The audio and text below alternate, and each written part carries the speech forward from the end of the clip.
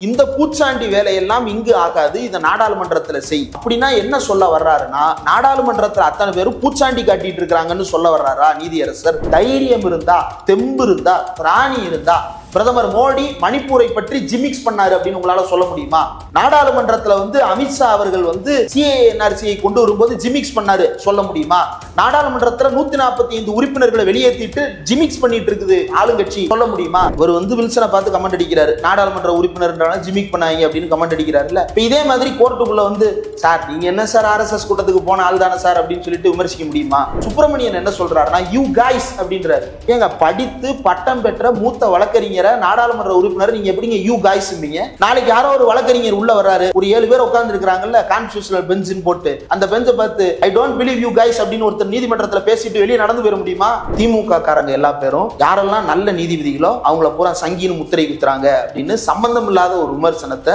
கோர்ட்டால பல வழக்குகள்ல தண்டிக்கப்பட்ட குற்றவாளியாக இருக்கக்கூடிய ஒரு நபர் வந்து நீதிபதிகளுக்கு வக்காலத்து வாங்கி கொண்டு உலாவி கொண்டிருக்கிறார். நாம் தமிழர் கட்சியினுடைய கோபாசை. அப்படின்னு சொல்லிக்கிறாங்க. ஏன்னா பல தடவை நீக்கி இருக்கிறாங்க பல தடவை சேர்த்திருக்கிறாங்க பல பல பேரை பிசுறு எடுத்திருக்கிறாங்க. இப்ப இவர் பிசுறா இருக்கிறாரா என்னவா இருக்கிறாரு அப்படின்றது தெரியல. இந்த சாட்டை துறைமுருகன்ற நபர். இப்ப இவங்களெல்லாம் வந்து ஏதோ ரோட்ல போய்கிட்டு இருந்தாங்க. திடீர்னு போலீஸ் வந்து தூக்கிட்டு போய் உங்களை உள்ள வச்சிருச்சுன்ற மாதிரி பிஹேவ் பண்ண பாக்குறாங்க. ஒருத்தன் கஞ்சா வச்சுட்டு உள்ள போனவன். இன்னொருத்தன் பெண்களை பத்தி அசிங்க அசிங்கமா பேசிட்டு உள்ள போனவன். இன்னொருத்தன் வாயா என்னன்னு தெரியாத அளவுக்கு ஆபாசமாக ஆன்லைன்ல வீடியோ போடுறதுனால அரெஸ்ட் பண்ணப்பட்ட நபர். பெண்கள் இப்படிலாம் பாதிக்கப்படுறாங்கன்னு நீ சொல்லல. பெண்கள் தானா போய் தங்களுக்கு இணங்கிடுறாங்க அப்படின்ற மாதிரி நீ பேசியிருந்த அதுதானே ஆபாசம். நீ என்னமோ சமூகத்துக்காக போராடின மாதிரியும் அதற்கு உன்னைய தூக்கி உள்ள வச்ச மாதிரியும் நீ போராட்டுற பில்டப்ன்றது ஆகாது. உண்மையிலேயே சமூகத்துக்காக போராடியது யார் அப்படின்னா வில்சன் போராடி இருக்கிறார் சோசியல் டைவர்சிட்டி நீதிபதிகள் நியமனத்துல இருக்கா இல்லையான்ற கேள்வி அவர் எழுப்பியிருக்கிறார். அவர் எழுப்பின கேள்விக்கு ஒன்றிய அரசு கொடுத்த பதில் என்ன தெரியுமா? நீதிபதிகளை நியமிப்பதற்கு ரிசர்வேஷனை பின்பற்ற வேண்டும் என்று கான்ஸ்டியூஷன் எங்களுக்கு சொல்லவில்லை அப்படின்னு. கான்ஸ்டியூஷன் பொருளாதார அடிப்படையில் ரிசர்வேஷன் கொடுக்க கூடாதுன்னு கூட தான் சொல்லி இருந்துச்சு நீ அதை சேர்த்து மாத்தினியா இல்லையா? அந்த உச்சாணி கொம்பில் உட்கார்ந்து கொண்டு நீதிபதிகள் வழக்கறிஞரை பார்த்து கேலி செய்யும் நிலைதான் இது. ரூட்ஸ் நேயர்களுக்கு வணக்கம். இன்று நம்மோடு பேச பேரலை ஊடகத்தின் அரசியல் பிரிவு ஆசிரியர் தோழர் இந்திரகுமார் அவர்கள் இணைந்துள்ளார். வாருங்கள் அவரோடு பேசுவோம். தோழர் வணக்கம். தொடர் டிஎன்பிஎஸ்சி வழக்கு தொடர்பாக ஆஜரான மூத்த வழக்கறிஞர் வில்சன் அவர்களை வந்து நீதிபதி ஆர் சுப்பிரமணியம் மரியாதைக்குரியவாக நீதிமன்றத்தில் நடத்தியதாக ஒரு செய்தி வெளிவருகிறது. வழக்கறிஞர்கள் குறிப்பாக தமிழ்நாடு புதுச்சேரி பார் கவுன்சில் சார்ந்த வழக்கறிஞர்கள் இதுக்கு ஒரு கண்டனத்தை தெரிவித்திருக்கிறார்கள். இதை பத்தி நீங்க எப்படி பாக்குறீங்க? இல்லை முதல்ல இந்த வழக்கு வந்து டிஎன்பிஎஸ்சியில் குரூப் டூ ஏ சர்வீஸில் எக்ஸ் சர்வீஸ்மேன் அப்பாயின்மெண்ட் தொடர்பாக அவங்களுக்கு இருக்கக்கூடிய முன்னுரிமை அடிப்படையிலான ரிசர்வேஷன் தொடர்பாக தொடரப்பட்ட வழக்கு. இந்த வழக்கு ஏற்கனவே வந்து விக்டோரியா கௌரி பெஞ்சில் வந்து தாக்கல் செய்யப்படுகிறது. அவங்க வந்து இன்ட்ரிம் ஆர்டர் பாஸ் பண்ணுறாங்க யாருக்கு சாதகமாக அப்படின்னா டிஎன்பிஎஸ்சிக்கு எதிராக வழக்கு தொடர்ந்தவர்களுக்கு சாதகமான இன்ட்ரீம் ஆர்டர் பாஸ் பண்ணுறாங்க இன்ட்ரிம் டைரக்ஷன்ஸும் அவங்க கொடுத்துட்றாங்க. டைரக்ஷன்ஸ்லாம் கொடுக்குறாங்க அப்படின்னா she is more committed towards that அப்படின்றது தான் அர்த்தம். இப்போ அதற்கு பிறகு என்ன நடக்கிறது அப்படின்னா இது வந்து வெவ்வேறு நீதிமன்றங்களில் வழக்கு சென்னை நீதிமன்றத்திலையும் இதே வழக்கு வருகிறது. அந்த வழக்கில் ஒரு டைரக்ஷன் கிடைக்கிறது. இப்போ அது அதுக்கு அடுத்து என்ன ஆகுது அப்படின்னா அப்பீல் போகிறாங்க டிஎன்பிஎஸ்சில இருந்து. மதுரை பெஞ்சில் அப்பீல் போகும்போது ஆர் சுப்பிரமணியம் தலைமையிலான பெஞ்சில் விசாரணைக்கு வருகிறது. ஆர் சுப்பிரமணியம் பெஞ்ச் அப்படின்றது வெறுமன ஆர் சுப்பிரமணியம் மட்டுமல்ல அவரும் விக்டோரியா கௌரியும் இணைந்தது தான் அந்த பெஞ்சு இப்போ அந்த பெஞ்சில் வந்து ஏற்கனவே விக்டோரியா கௌரி அதே வழக்கில் தனிநபர் தனி நீதிபதியாக ஆர்டர் கொடுத்துருக்காங்க. இன்ட்ரீம் ஆர்டர் கொடுத்துட்டாங்க. இன்ட்ரீம் டைரக்ஷன்ஸும் கொடுத்துட்டாங்க. அதற்கு பிறகு மறுபடியும் அந்த வழக்கு வந்து மேல் விசாரணைக்கு வருகிறது. வரும்போது அதே விக்டோரியா கௌரியே அந்த வழக்குல வந்து ஆஜராகிறது. எந்த வகையில? சரியானது அப்படின்றத கேள்வி எழுப்புறார் திமுகவினுடைய நாடாளுமன்ற உறுப்பினரும் மூத்த வழக்கறிஞருமாகிய வில்சன் அவர்கள். அவர் தான் டிஎன்பிஎஸ்சி சார்பாக ஆஜராகிறார். இப்போ இதை பார்த்த உடனேயே ஆர் சுப்பிரமணியன் அப்படின்ற அந்த பெஞ்சுடைய தலைமை நீதிபதி வந்து என்ன சொல்றாரு அப்படின்னா நீங்க இந்த மாதிரி கோர்ட்டை அவமானப்படுத்துறீங்க. அவருடைய வார்த்தைகள்லயே சொல்றது அப்படின்னா அவர் பேசின வார்த்தைகள் ஒன்னொன்னு வந்து இதுவரை நாம வந்து கேட்காத வார்த்தைகள் கோர்ட் காலுக்குள்ள. ஓ fantastic mister Wilson fantastic to all these gimmicks in the parliament not before us we are not entertaining it அப்படின்னு சொல்லிட்டு கோபமாக சொல்றாரு.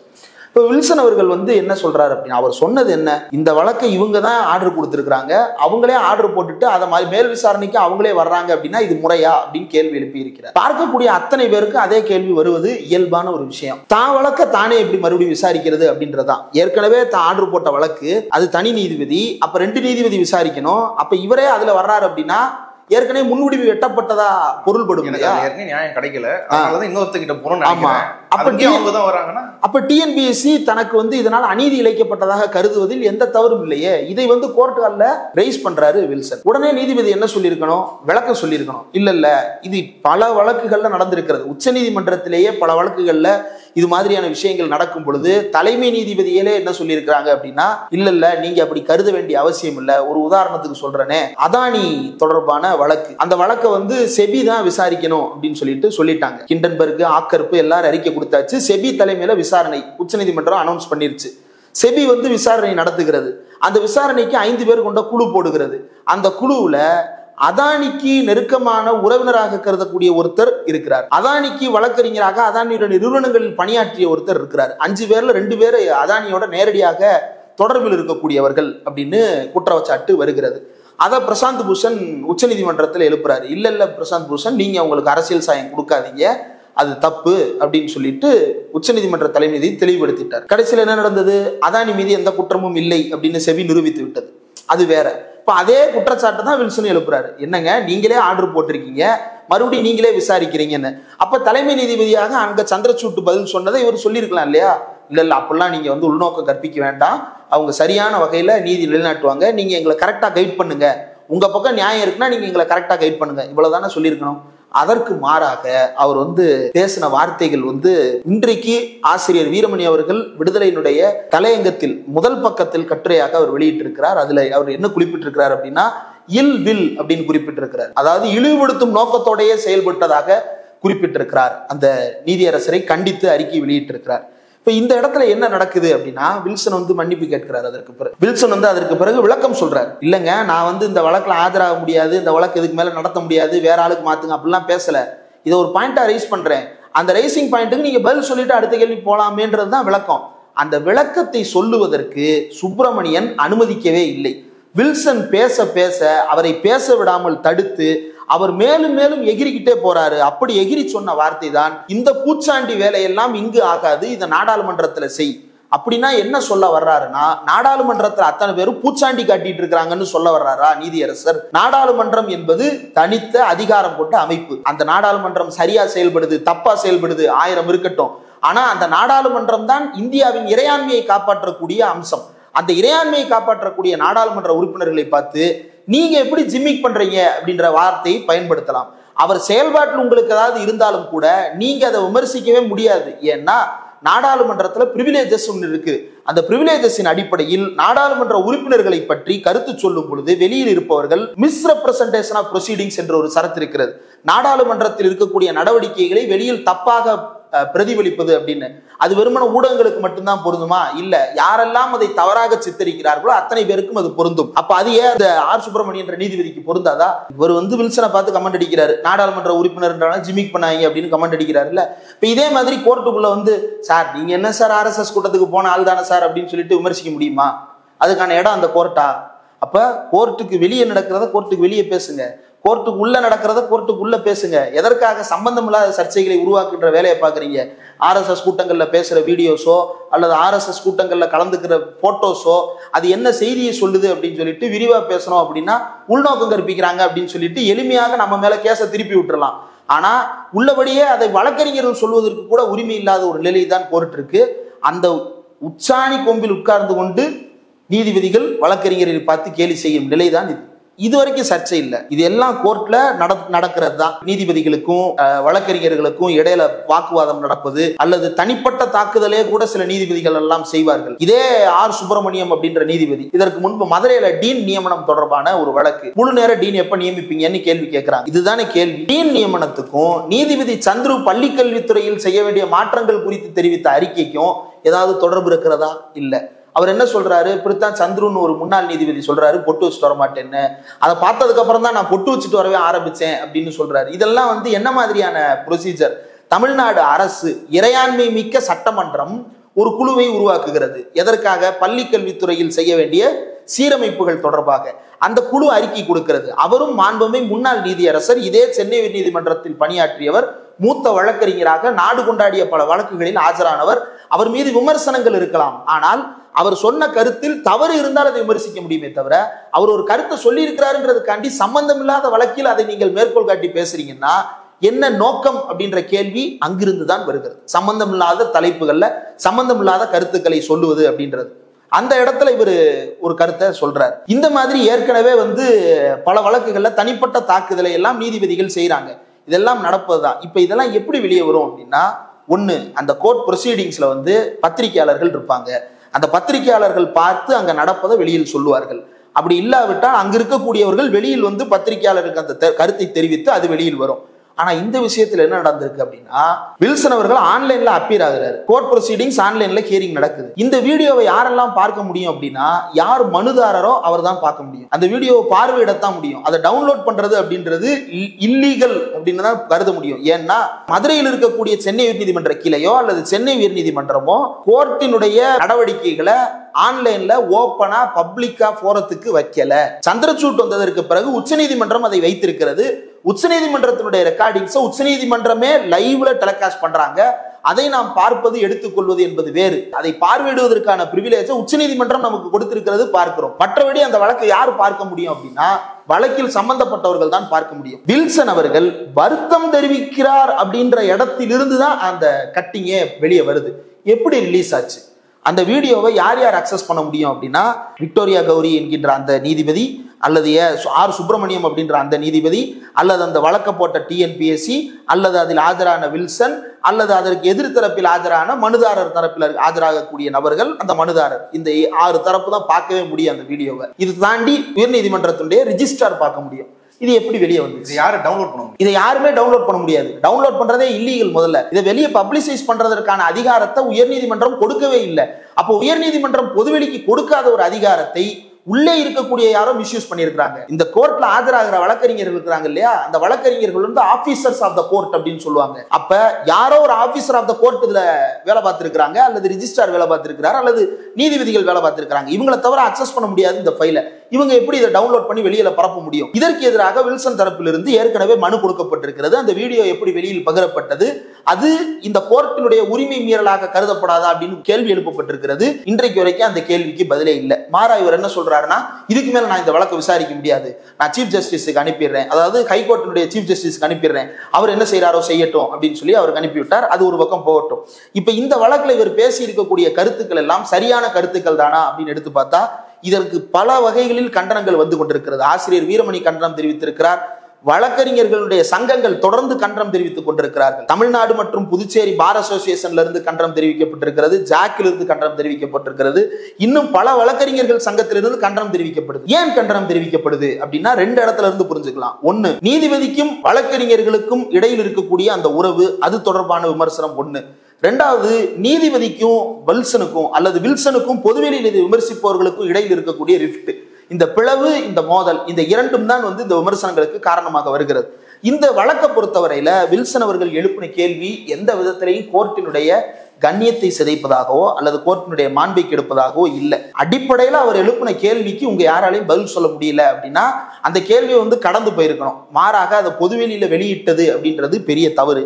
ரெண்டாவது வெளியில் நடக்கக்கூடிய விமர்சனங்கள். இப்ப என்ன கிளப்பி இருக்கிறாங்க அப்படின்னா திமுக காரங்க எல்லா பேரும் யாரெல்லாம் நல்ல நீதிபதிகளோ அவங்கள பூரா சங்கின்னு முத்திரை குத்துறாங்க அப்படின்னு சம்பந்தம் இல்லாத ஒரு விமர்சனத்தை யாரோ ஒரு நபர் கோர்ட்டால பல வழக்குகளில் தண்டிக்கப்பட்ட குற்றவாளியாக இருக்கக்கூடிய பல வழக்குகளில் ஆஜராகி கொண்டிருக்கக்கூடிய ஒரு நபர் வந்து நீதிபதிகளுக்கு வக்காலத்து வாங்கி கொண்டு வெளியில் உலாவி கொண்டிருக்கிறார். நாம் தமிழர் கட்சியினுடைய கோபாசை அப்படின்னு சொல்லிக்கிறாங்க. ஏன்னா பல தடவை நீக்கி இருக்கிறாங்க பல தடவை சேர்த்திருக்கிறாங்க பல பல பேரை பிசுறு எடுத்திருக்கிறாங்க.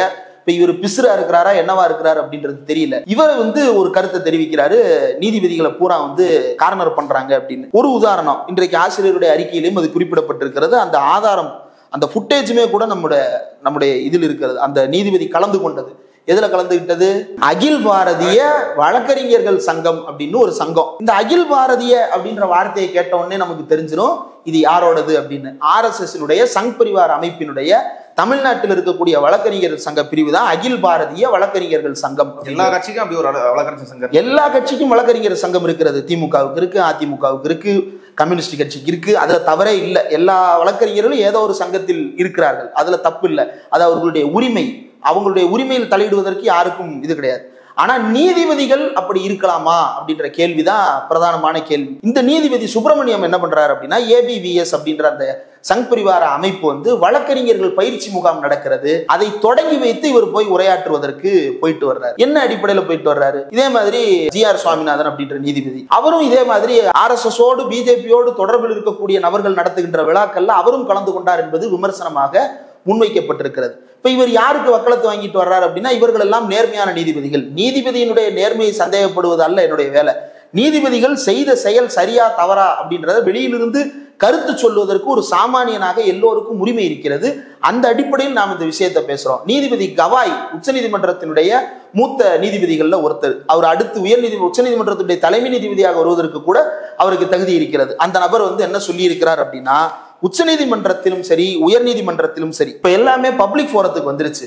இந்த பப்ளிக் ஃபோரத்துக்கு வந்ததற்கு பிறகு நாம் தெரிவிக்கக்கூடிய கருத்து ஒன்னொன்னும் கண்ணியத்துக்குரியதாக இருக்க வேண்டும். Lawyers are not treated with dignity they deserve வழக்கறிஞர்கள் என்பவர்களுக்கு அவர்களுக்கு உரிய மரியாதையை அங்கீகாரத்தை யாருமே கொடுப்பதில்லை. குறிப்பா அவர் பயன்படுத்துற வார்த்தை கண்ணியம். வழக்கறிஞர்களுடைய கண்ணியத்தை நீதிபதிகள் கொடுப்பதில்லை. And are often humiliated by justice நீதிபதிகளால் அவர்கள் ஹியூமிலியேட் பண்ணப்படுறாங்க. அவர்கள் வந்து தலைகுனிய வைக்கப்படுகிறார்கள். We should not forget that the judges and lawyers are coequal partners in the administration of justice நீதி பரிபாலனத்தில் இரண்டு பேரும் சம பங்காளிகள் அப்படின்றத யாரும் மறந்துவிடக் கூடாது. அதே போல நன் சுப்பீரியர் நன் இன்பீரியர் யாரும் உயர்ந்தவரும் அல்ல யாரும் தாழ்ந்தவரும் அல்ல. Misbehaving with the lawyers does not enhance the dignity of the institution but rather undermines it வழக்கறிஞர்களோடு தேவையற்ற சச்சரவுகளை உருவாக்குவது இந்த மதிப்புமிக்க நீதிமன்றத்தின் கண்ணியத்தை உயர்த்தாது மாறாக குறைக்கும் அப்படின்னு நான் சொல்லலை. நீதிபதி கவாய் சொல்லி இருக்கிறார் இப்போ இந்த ஃபுட்டேஜ் வெளியில் வந்தது என்ன மாதிரியான நடவடிக்கை? இதற்கு உடனடியாக ஆர். சுப்பிரமணியம் கண்டனம் தெரிவிச்சாரா? அல்லது கருத்து சொன்னாரா? எல்லாத்துக்கும் கருத்து சொல்றாருல ஜஸ்டிஸ் சந்துரு வந்து பொட்டு வச்சுட்டு வர சொன்னதுக்கு கருத்து சொல்றாரு. ஏபிவிஎஸ் விழாவில் போய் கருத்து சொல்றாரு. இதுக்கு கருத்து சொன்னாரா? எப்படி அந்த வீடியோ ரிலீஸ் பண்ணீங்க? நான் இன்னைக்கு வில்சனுக்கு வந்து கடுமையான வார்த்தையில பேசுறேன்னா நாளைக்கு நானே பாராட்டுவேன். இன்னைக்கு வில்சன் என்னை பார்த்து கடுமையான வார்த்தையை பயன்படுத்துறாரு அப்படின்னா நாளைக்கு அவர் என்னை பாராட்டி பேசக்கூடிய தருணம் வரும். இது கோர்ட்டுக்குள்ள நடக்கிறது. இது வெளியே போறதுக்கு எப்படி அனுமதிச்சிங்க அப்படின்னு அதை வெளியிட்டவர்கள் மீது நடவடிக்கை எடுப்பதற்கு இந்த நீதிபதிக்கு துணிச்சல் இருக்கிறதா அப்படின்றதா நாம் எழுப்புகின்ற கேள்வி. அதை அவர் எடுக்காத வரைக்கும் இதற்கு அவருக்கும் கை இருக்கிறதான்ற சந்தேகத்தை மக்கள் எழுப்புவாங்கல்ல. அதற்கு பதில் சொல்ல வேண்டிய தேவை வருகிறது இல்லையா? இன்னும் பல வழக்குகள்ல இந்த மாதிரியான விஷயங்கள் நடக்கிறத பார்க்க முடிகிறது. இது நீதிமன்றத்துக்கு உள்ள. ரெண்டாவது நீதிமன்றத்துக்கு வெளியில இதை எப்படி பண்றாங்க அப்படின்னா திமுக நபர்கள் எல்லோரும் எ- தனக்கு எதிரான வழக்கு தீர்ப்பு சொல்லக்கூடிய நீதிபதிகளை சங்கியாக விமர்சனம் பண்றாங்க அப்படின்ற அது பதில் சொல்லியாச்சு. ரெண்டாவது இன்னும் ஒரு சிலர் என்ன சொல்றாங்க அப்படின்றத பார்க்கும் பொழுது இவங்க என்ன குறிப்பிட விரும்புறாங்கன்னா ஏதோ இந்த நீதிபதிகள் எல்லாம் சமூக நீதி காவலர்கள் இவர்கள் தான் தமிழ்நாட்டுல வந்து சமூக நீதி இல்லைன்றாங்க நீங்க வந்து என்ன சொன்னீங்கன்னா தொடர்ச்சியா நீதியரசர் கவாய் சொன்னதை வந்து நீங்க குறிப்பிட்டு சொல்லியிருந்தீங்க தொடர்ச்சியா நீதிமன்றங்களை வந்து வழக்கறிஞர்களுக்கு மாண்பு குறைவு விதமா நீதியரசர் நடந்துக்கிறான்றது ஆனா இப்போ ஒரு சாட்டை துறைமுருகன் அவர் என்ன சொல்றாருன்னா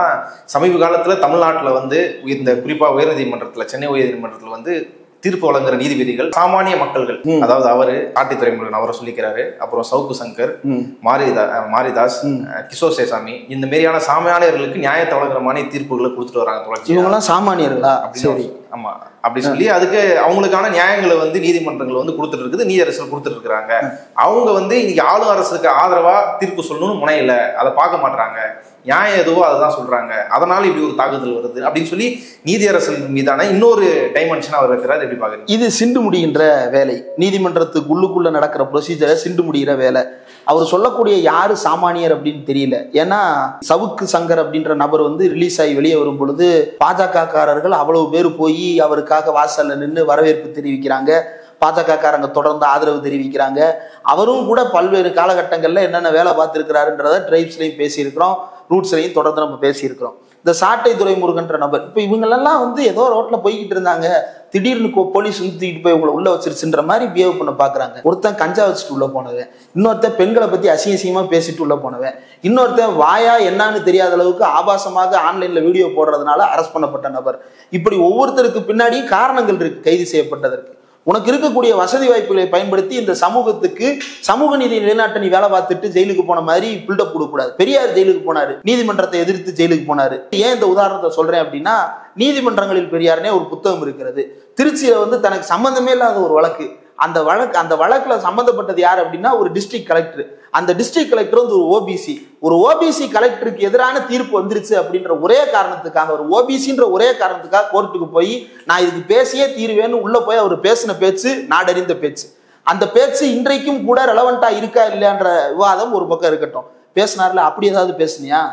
நீ என்ன பேசுன? பெண்கள் பெண்களை வந்து நீதித்துறையில வந்து எப்படி பயன்படுத்துறாங்க? காவல்துறையில எப்படி பயன்படுத்துறாங்க? அப்படின்ல பேசியிருந்த. இது எந்த வகையில வந்து சமூக நீதி நிலைநாட்டுவதற்கான பேச்சு? பெண்கள் இப்படிலாம் பாதிக்கப்படுறாங்கன்னு நீ சொல்லல. பெண்கள் தானா போய் தங்களுக்கு இணங்கிடுறாங்க அப்படின்ற மாதிரி நீ பேசியிருந்த அதுதானே ஆபாசம். என்னமோ பெண்களுக்கு சமூக நீதி குரல் எழுப்பின மாதிரி இல்லை நீ பில்டப் கொடுத்துக்கிட்டு இருக்கிற.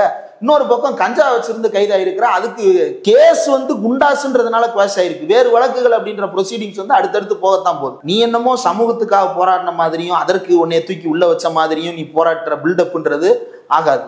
உண்மையிலேயே சமூகத்துக்காக போராடியது யார் அப்படின்னா வில்சன் போராடி இருக்கிறார். உச்சநீதிமன்றத்திலையும் சரி உயர்நீதிமன்றத்திலையும் சரி.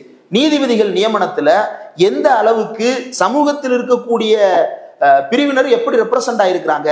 இங்க இருக்கக்கூடிய சோசியல் காஸ்ட் வந்து அங்க எப்படி ரெப்ரசன்ட் ஆயிருக்குன்ற கேள்வியை அவர் எழுப்பி இருக்கிறார் எத்தனை பேர் நீதிபதிகளில்? ஓபிசி எத்தனை பேர் எஸ்சி எத்தனை பேர் எஸ்டி சோசியல் டைவர்சிட்டி நீதிபதிகள் நியமனத்துல இருக்கா இல்லையான்ற கேள்வியை அவர் எழுப்பி இருக்கிறார் அவர் எழுப்பின கேள்விக்கு ஒன்றிய அரசு கொடுத்த பதில் என்ன தெரியுமா? நீதிபதிகளை நியமிப்பதற்கு ரிசர்வேஷனை பின்பற்ற வேண்டும் என்று கான்ஸ்டியூஷன் எங்களுக்கு சொல்லவில்லை அப்படின்னு. கான்ஸ்டியூஷன் பொருளாதார அடிப்படையில ரிசர்வேஷன் கொடுக்க கூடாதுன்னு கூட தான் சொல்லி இருந்துச்சு நீ அதை சேர்த்து மாத்தினியா இல்லையா? அப்ப உனக்கு ஏற்றாறு போல திருத்தி வளைத்து கொண்டு கான்ஸ்டியூஷனே கொடுக்காத ஒன்னா நான் எப்படியாவது முயற்சி பண்ணி கொடுத்துறேன்ற பில்டப்ப அந்த ஒன்றிய சட்டத்துறை அமைச்சகம் நீதித்துறை அமைச்சகம் வந்து கொடுத்திருக்கிறது. அதை அம்பலப்படுத்தி இவர் வில்சன் தான் வெளியில் எடுத்துட்டு வர்றார். ரெண்டாயிரத்தி பதினெட்டுல இருந்து ஆறு வருஷத்துல அறுநூத்தி அறுபத்தோரு ஹைகோர்ட் ஜட்ஜ் நியமிக்கப்பட்டிருக்கிறாங்க. அறுநூத்தி அறுபத்தோரு ஹைகோர்ட் ஜட்ஜ் நியமிக்கப்பட்டிருக்கிறாங்களே அதுல எத்தனை பேர் ஓபிசி எத்தனை பேர் எஸ்சி எத்தனை பேர் எஸ்டின்னா எழுபத்தஞ்சு சதவீதம் பேர் ஜெனரல் கேட்டகரியில இருந்து வந்திருக்கிறாங்க. எத்தனை பேர் தெரியுமா? பட்டியல் சமூக மக்கள் இருபத்தோரு பேர். இதுல அறுநூத்தி அறுபத்தோரு பேர்ல ஆறு வருஷம் அறுநூத்தி அறுபத்தோரு பேர்ல இருபத்தோரு பேர் தான் எஸ்சி பன்னெண்டு பேர் தான் எஸ்டி வருஷத்துக்கு ரெண்டு பேர் கூட நியமிக்கப்படல. எழுபத்தெட்டு பேர் ஓபிசி நானூத்தி நாற்பத்தி பேர் ஜெனரல் கேட்டகிரி இதுக்கு பேர் சோசியல் டைவர்சிட்டியா அப்படின்ற கேள்வியை வில்சன் எழுப்பினார். இது இவர்களுக்கு வயிற்றெரிச்சலை ஏற்படுத்தி இருக்கிறது. வில்சன் மீதான காழ்ப்புணர்ச்சியை தூண்டி இருக்கிறது. ரெண்டாவது நீதிபதிகள் தங்களுடைய சொத்து விவரங்களை வெளிப்படையாக தாக்கல் செய்ய வேண்டும். அது கட்டாயமாக இருக்க வேண்டும் அப்படின்றத வில்சன் அவர்கள் கோரிக்கையாக வைத்திருக்கிறார். இதெல்லாம் அவர் வந்து போற போக்குல நடந்து சொல்லிடல. அவருக்கு கொடுக்கப்பட்ட நாடாளுமன்ற மாநிலங்களவை பதவியின் மூலமாக அவர் நாடாளுமன்றத்தில் இருக்கக்கூடிய ஒரு ஸ்டாண்டிங் கமிட்டியில் இருக்கிறாரு. லா அண்ட் ஜஸ்டிஸ் ஸ்டாண்டிங் கமிட்டியில் இருக்கிறாரு. நூத்தி முப்பத்தி மூணாவது அறிக்கை கடந்த ஆண்டு வெளியானது. அந்த நூத்தி முப்பத்தி மூணாவது standing committee report on law and ஜஸ்டிஸ்ல அவர் கேட்டிருக்கக்கூடிய கேள்விகள் இப்ப நான் சொல்றது எல்லாமே. நீதிபதிகள் நியமனத்துல வந்து சோசியல் டைவர்சிட்டி இருக்கணும். முடிந்தால் நீதிபதிகள் நியமனத்தில் ரிசர்வேஷனே பின்பற்றப்பட வேண்டும். நீதிபதிகள் உயர்நீதிமன்றமோ உச்சநீதிமன்றமோ அந்த நீதி அரசர்கள் தங்களுடைய சொத்து கணக்கு விவரங்களை தாமே முன்வந்து கட்டாயமாக பொது பார்வைக்கு வைக்க வேண்டும். அதே போல இந்தியா முழுவதும் உச்சநீதிமன்றத்தின் கிளைகளை நிறுவ வேண்டும். இந்த கோரிக்கைகள் எல்லாம் வில்சன் எழுப்பிய கோரிக்கைகள். இந்த கோரிக்கைகளால் அதிர்ச்சி அடைகின்ற ஒரு சிலர் வில்சனுக்கு எதிரான நடவடிக்கைகளை எப்படியாவது எடுத்து அவருடைய லான் ஜஸ்டிஸ் ஸ்டாண்டிங் கமிட்டி பதவிக்கு கண்ணிய குறைவை ஏற்படுத்துகின்ற நோக்கத்தோடு செயல்படுகிறார்கள். இதை நிச்சயமாக ஆசிரியர் அவர்கள் இன்றைய அறிக்கையில் குறிப்பிட்டிருக்கிறார். பாராளுமன்றத்தில் பிரிவிலேஜஸ் கமிட்டி என்று ஒரு இருக்கிறது. அந்த பிரிவிலேஜஸ் கமிட்டியின் கீழே ஒரு ஸ்டாண்டிங் கமிட்டி மெம்பரை இப்படி நடத்தி இருக்கிறாங்க அப்படின்றத நிச்சயமாக ஒரு கேள்வியா முன்வைக்கிறோம். இல்லைன்னா நாடாளுமன்ற உறுப்பினர் ஒருத்தருடைய செயல்பாட்டை நீங்க எப்படி ஜிமிக்ஸ்ன்னு சொல்லுவீங்க? சொல்லுங்களேன். தைரியம் இருந்தா தெம்பு இருந்தா திராணி இருந்தா பிரதமர் மோடி மணிப்பூரை பற்றி ஜிமிக்ஸ் பண்ணாரு அப்படின்னு உங்களால சொல்ல முடியுமா? நாடாளுமன்றத்துல வந்து அமித்ஷா அவர்கள் வந்து சிஏஎன்ஆர்சியை கொண்டு வரும்போது ஜிமிக்ஸ் பண்ணாரு சொல்ல முடியுமா?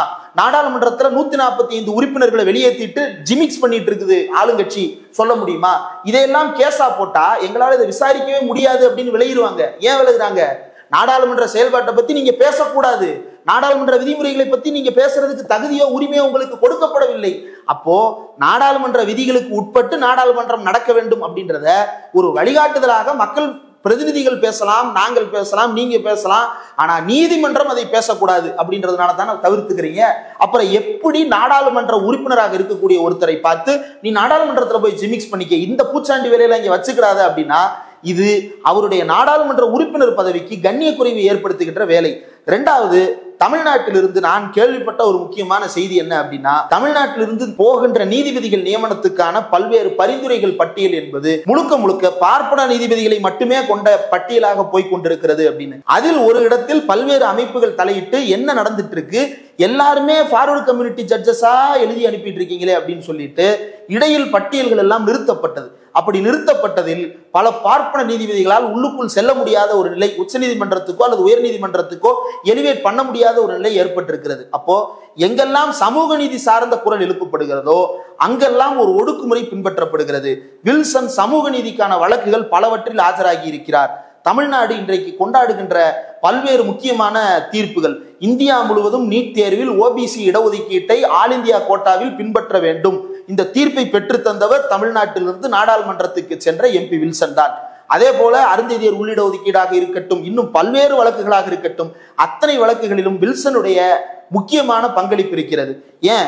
உதயநிதி ஸ்டாலின் அவர்கள் மீது தொடுக்கப்பட்ட சனாதன தர்மம் குறித்து அவர் பேசிய பேச்சுக்கு எதிரான வழக்கில் கூட வில்சன் அவர்கள் தான் அவருக்காக ஆஜரான வழக்கறிஞர். அந்த அஃபிடவிட்டில் இருந்த வார்த்தைகள் ஒன்னொன்னையும் நாம் ட்ரைப்ஸ்லையும் சரி பேரலையும் சரி அவ்வளவு விரிவாக பேசியிருக்கிறோம். அவ்வளவு காத்திரமாக சமூக நீதியை நிலைநாட்டக்கூடிய விதத்தில் எழுதப்பட்ட அறிக்கை அது. இப்படி ஒவ்வொரு இடத்திலும் வில்சன் சமூக நீதிக்காக பேசுகிறார். சமூக நீதிக்காக பேசுகின்ற வில்சனை எப்படியாவது முடக்க வேண்டும் என்று பல கட்டங்களில் தாக்குதல் நடத்த முயற்சிக்கிறார்கள். அப்படி நடத்தப்படுகின்ற தாக்குதலில் ஒன்றுதான் இப்போது நடைபெற்றுக் கொண்டிருப்பதும் என்று நான் கருதுகிறேன். இது உச்சநீதிமன்றத்தின் தலைமை நீதிபதிக்கே போய் நின்றாலும் கூட நிச்சயமாக வில்சன் அவர்கள் குறித்து சுப்பிரமணியம் அவர்கள் தெரிவித்த கருத்து என்பது நாடாளுமன்ற உரிமை மீறல் அது வில்சனுடன் மீதான தனிப்பட்ட தாக்குதல் நாடாளுமன்றம் மட்டுமல்ல ஹைகோர்ட்டினுடைய மாண்பையே சிதைக்கும் வகையில் இருக்கிறது அப்படின்றது தான் தொடர்ந்து சொல்லப்பட வேண்டிய விஷயம். ஏன்னா நீதிமன்றம் என்பது இன்றைக்கு வெறுமன தனிப்பட்ட இடம் அல்ல.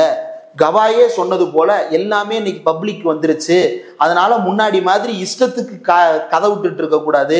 தனிப்பட்ட தாக்குதல்ல பேசக்கூடாது அப்படின்னு. போன வாரம் ஒரு விஷயம் நடந்துச்சு உச்ச நீதிமன்றத்துல. ஒரு வழக்கறிஞர் ஆஜராகும் பொழுது நீதியரசர் தலைமை நீதியரசர் இருக்கிறாரு. அவர் பேச பேச இவர் ஏதோ கதை கேட்குற மாதிரி யா யா யா யான்னு சொல்ல. உடனே என்ன யா யா யா யான்னு சொல்லிட்டு இருக்கிற? ஒழுங்கா நீதிமன்றத்துக்கு உள்ள எந்த வார்த்தைகளை பயன்படுத்தணுமோ அந்த வார்த்தைகளை பயன்படுத்துங்க. நீ ஒன்னொன்னுக்கும் எஸ் மிலாடுன்னு சொல்ல வேண்டிய அவசியம் இல்லை. எஸ்ன்னு சொல்லி இருக்கலாமே எஸ்ஸுக்கும் யாவுக்கும் இருக்கக்கூடிய வேறுபாடு அப்படின்றத அவர் குறிப்பிடுறாரு. ஏன் குறிப்பிடுகிறார் அப்படின்றது பலருக்கும் அப்போது புரியல. ஆனா இன்னைக்கு இந்த நீதியரசர் சுப்பிரமணியன் என்ன சொல்றாருன்னா யூ காய்ஸ் அப்படின்றாரு. ஏங்க படித்து பட்டம் பெற்ற மூத்த வழக்கறிஞரை நாடாளுமன்ற உறுப்பினர் நீங்க எப்படிங்க யூ காய்ஸ்ம்பீங்க யாரோ ஒரு தனி மனிதர் ரோட்ல உட்காந்தோ மீடியால உட்காந்தோ பேசலாம். நீதியரசர் அப்படி பேசலாமா? நாளைக்கு யாரோ ஒரு வழக்கறிஞர் உள்ள வர்றாரு. You guys are not doing the justice அப்படின்னு சொல்லி உங்களை பார்த்து பேசிட முடியுமா? ஒரு ஏழு பேர் உட்கார்ந்து இருக்கிறாங்கல்ல கான்ஸ்டியூஷனல் பெஞ்சுன்னு போட்டு. அந்த பெஞ்சை பார்த்து I don't believe you guys அப்படின்னு ஒருத்தர் நீதிமன்றத்தில் பேசிட்டு வெளியே நடந்து போயிட முடியுமா?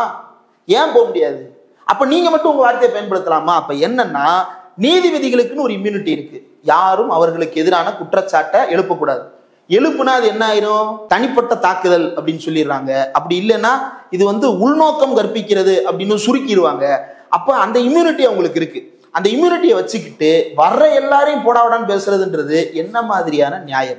அப்ப வில்சன் அவர்களுக்கு எதிராக இப்போது கட்டமைக்கப்படுகின்றது என்பது திட்டமிட்டு பரப்பப்படுகிறதா என்கின்ற சந்தேகம் ஏற்பட்டிருக்கிறது.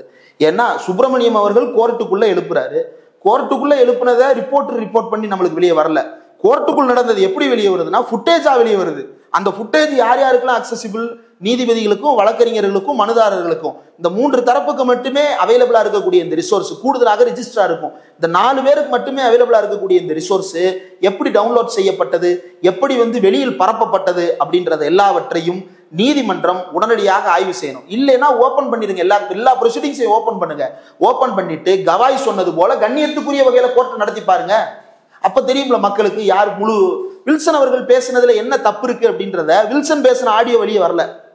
வில்சன் அவர்கள் விக்டோரியா கௌரி இந்த பெஞ்சில் இருக்கலாமா கூடாதா? அப்படின்றது குறித்து எழுப்பிய கேள்வி வெளியே வரல. மாறாக அவர் வருத்தம் தெரிவிக்கிற இடத்துல இருந்து ஆடியோவை கட் பண்ணி வெளியே இறக்குறாங்க அப்படின்னா அதுவும் அவர் முழுசா பேச விடல. அதுல அதுல கேட்டாலே தெரிகிறது. முழுக்க முழுக்க சுப்பிரமணியன் தான் பேசிக்கிட்டே இருக்கிறாரு. ஏன்னா அவர் ஜட்ஜு சுத்தியில் எடுத்து சுத்தியில் கையில் இருக்கிறதுனால யாரை வேண்டுமானாலும் அடித்து அவர் கருத்து சொல்லிக்கிட்டே இருக்கலாம். யாரும் குறுக்க பேச முடியாதுன்ற இம்யூனிட்டியை வச்சுக்கிட்டு எந்த கருத்தாக இருந்தாலும் பேசி விடலாம் என்று நினைத்துக் கொண்டிருக்கிறார்கள். அது முதலில் மாற்றிக்கொள்ளப்பட வேண்டிய நடவடிக்கை அப்படின்னு நான் சொல்லல கவாய் சொல்றாரு. கவாய் சொல்கிறத கேட்கல அப்படின்னா அதை கவாய்கிட்ட போய் சொல்லணும் அடுத்து. அடுத்து உச்சநீதிமன்றத்துக்கு தான் கடிதம் போடணும். இப்போ நாம செய்ய வேண்டிய வேலை உச்சநீதிமன்றத்துக்கு ஒரு கடிதம் எழுதணும் போல. இந்த மாதிரி எங்களுடைய மாநிலத்தைச் சேர்ந்த ஒரு நாடாளுமன்ற உறுப்பினரை ஒரு மக்கள் பிரதிநிதியை ஒரு வழக்கறிஞரை இப்படிலாம் இன்டிமேட் பண்றாங்க. நீங்க என்ன சொல்றீங்க மிலாட்ஸ் ஒரு வழக்கறிஞரை பார்த்து இப்படி பேசலாமா அப்படின்ற கேள்விகளை எல்லாம் நாம் எழுப்ப வேண்டும் என்று நினைக்கிறேன். அப்படி எழுப்ப வேண்டும் என்கின்ற கோரிக்கையை தான் இன்றைக்கு ஆசிரியர் அவர்களும் விடுதலையில் வெளியாகி இருக்கக்கூடிய கட்டுரையில் குறிப்பிட்டிருக்கிறார். இப்- இந்த நிலை தொடர்ந்தால் நிச்சயமாக மக்கள் எழுச்சியை சந்திக்க வேண்டிய நெருக்கடி வரும். தயாராக இருங்கள் அப்படின்னு ஆசிரியர் எச்சரித்திருக்கிறார். அப்போ என்ன இந்த செய்தி குறித்து இவ்வளவு நேரம் விரிவாக உங்க கருத்துக்களை பகிர்ந்து கொண்டதுக்கு நன்றி.